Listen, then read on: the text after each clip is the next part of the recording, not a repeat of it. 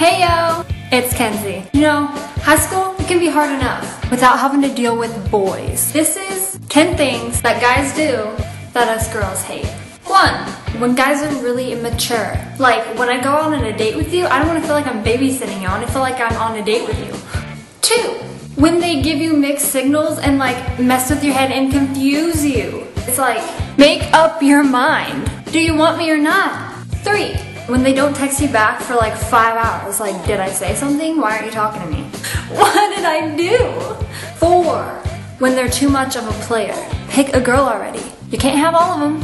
Five, when they don't listen. Like, okay, I know you don't want to hear about all of our crap, but you can at least act like you're listening. Six, when they change around their friends. It makes us feel like you're embarrassed of us or something, like you don't want your friends to know that we're like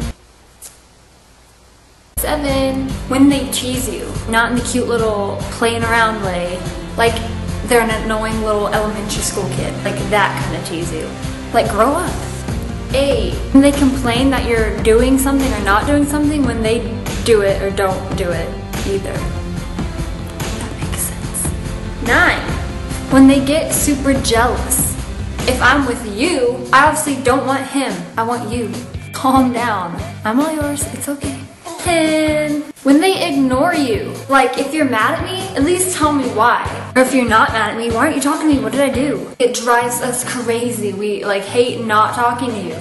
And there is 10 things that us girls hate that guys do. So, like, if you're trying to get a lady, don't do that stuff, or else she's not going to have anything to do with you.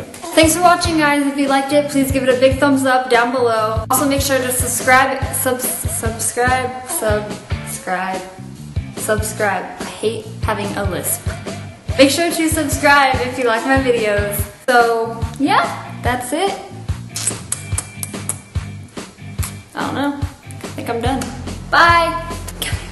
Come here. Mwah.